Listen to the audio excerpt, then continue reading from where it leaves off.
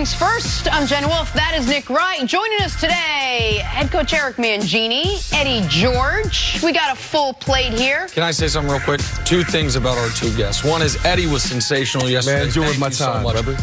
There is not a single person in the world I looked more forward to seeing Oh, after God. Sunday than this man right across from me. I thought, Great to I, thought see I was you, going to Coach. avoid the whole week, I know. but I wasn't able I- to. Man, I made some. I never ever do this.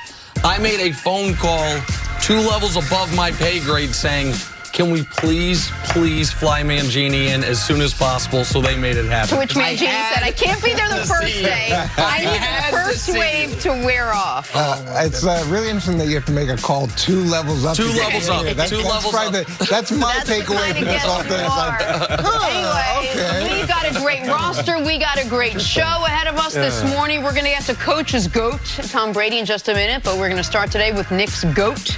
That would be Patrick Mahomes. So, about seven years ago, a 17-year-old kid by the name of Patrick Mahomes tweeted his lofty dream of one day becoming the Super Bowl winning quarterback headed to Disney World. Might have seemed far-fetched at the time, but yesterday, the now 24-year-old Mahomes saw his dream come true. This after winning the Super Bowl and becoming the youngest player ever to win both a regular season MVP as well as a Super Bowl MVP. Nick will kick it off with you. What'd you make of Mahomes' playoff run, start to finish? Three double-digit comeback victories, the most touchdowns mm. accounted for of any player in postseason history, despite, by the way, not playing the maximum number of games. You can play four, he only played three. And, and the way in which he won the Super Bowl, they won the Super Bowl, coming back from 10 down on a what I consider a great defense uh. and a team that was three plays away over the course of the regular season, one could argue, from being undefeated. It goes right in line with Joe Montana in 1989, Eli Manning in 2011 as one of the three greatest playoff runs by a quarterback I've ever seen or we've ever seen. There, have been some great ones. Aikman in 92 was sensational. Phil Simms in 86 was out of this world. People famously remember Flacco in 2012. But to me, Montana 89, Eli 2011, Mahomes 2019, those are your three greatest quarterback playoff runs ever. Yeah, and, and how he did it. You know, that you talked about, to come from behind, at home, down by 20, 24. Yeah.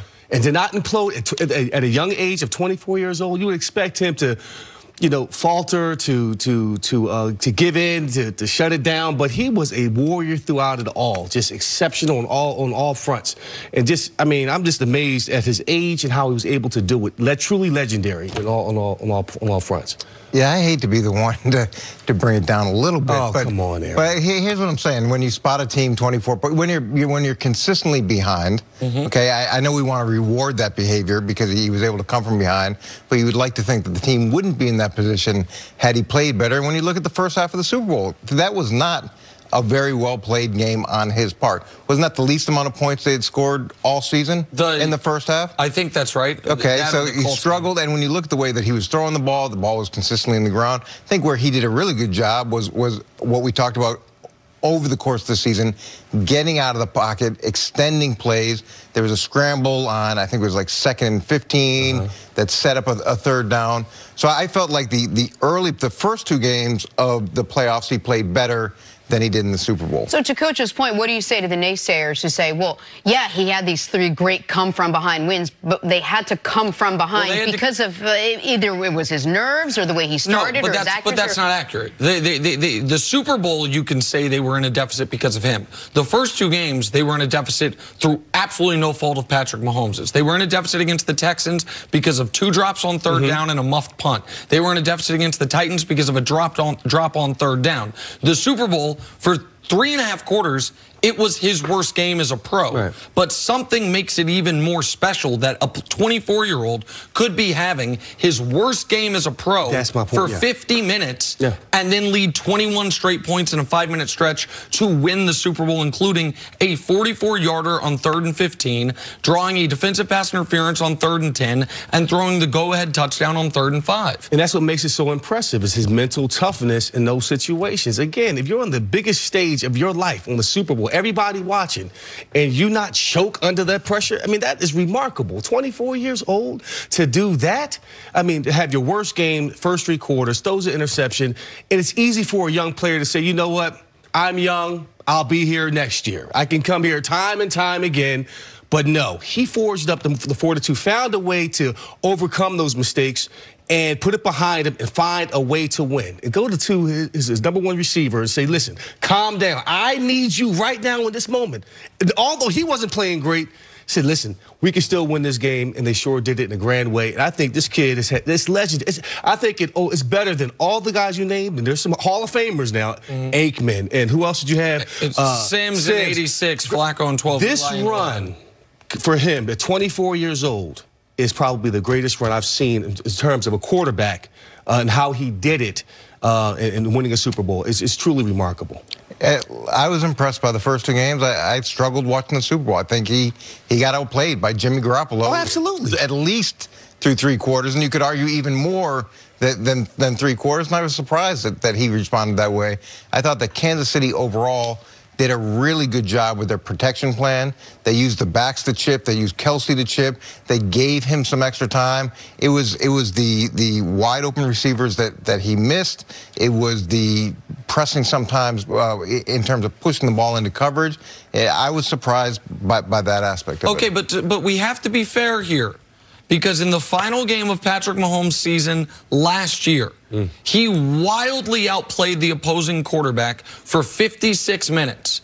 And then in the final go. four minutes, the opposing quarterback who threw a couple picks, who was who tried to throw a third, but a guy was offsides, yep. who was having a terrible game, led a comeback. A, a comeback in the fourth quarter and then a drive in overtime, and that's part of his legend. And there are no style points. It's not about how you play the first 56 minutes. It's about how you play over the totality of the game. So if we, if uh, unless we're going to retroactively say, you know what, Mahomes was better than Brady, was the one, the quarterback you'd have rather had in the AFC Championship game last year, then what we can't do is in this game in the Super Bowl against Garoppolo say, well, if each quarter's worth equal, if each minute is worth the same, mm -hmm. then Garoppolo in its totality played about even with Patrick because he didn't. In the biggest moments of the game, in the final 12 minutes, Jimmy Garoppolo was 3 of 11 for 36 yards with a passer rating of 3. While Patrick Mahomes was 8 of 13 for 114 with a passer rating of 130 en route to his team winning the game. You taught me there's no style points. You have to mm. find a way to win the game, and Patrick did that on the grandest of all stages. Yes. There, there absolutely isn't any style points. And and the win is the win, and that's the most important thing. And I'm not trying to take that part away from him, but we're, we're looking at the AFC Championship game last year, and, and you look at the Super Bowl this year, mm -hmm. the two biggest games that he had played at that at those points, and he really struggles early. And and and as we as we view this down the line, that's something that he's going to have to figure out, and and they're going to collectively have to figure out why why does that happen? How does that happen? And it's hard to talk about this in in this moment yeah. because we're so close to to what what just happened and, and, the great things that he did for that city. But from a realistic coaching perspective, you do. You take a step back and you say, okay, these things are fantastic. Now, why are we struggling in this area? Why why is he having this problem if he's gonna be as great as you hope he is. But that's a part of being a legend is to overcome personal failure. You know, I've had games where I fumbled twice in a game and I've lost the game. And I've sat the, mm. on the bench for uh, two years at Ohio State. And I had to overcome that. And that's a part of it. I mean, to mature like that, in, in, in, the moment, in the course of a game. Not say I'm going to take an off season to think about okay how poorly I played in the in the first three quarters of this game, but to do it in game, that's tough to muster up, and that's that's a different makeup mentally speaking. So that's why I but, say. But did you fumble twice in the two biggest games of your career? But well, coach, but did you come back to win in right. actually no, the two I, biggest games I, of your career? Again, I love that aspect of it, but we're talking about this this whole playoff run. Yeah. And, and, the first three quarters are part of that playoff run. And we could sit here and, and totally but disregard what, what happened, but you saw it.